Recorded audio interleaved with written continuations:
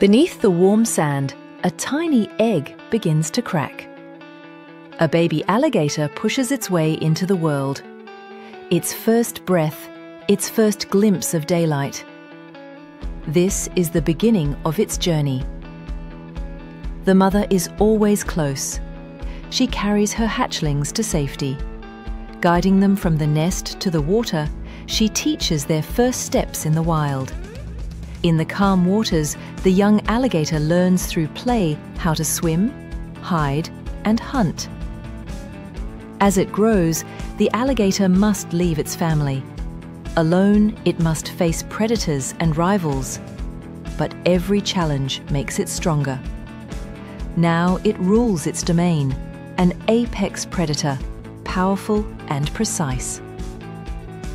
Time passes and a new generation begins the cycle of life continues.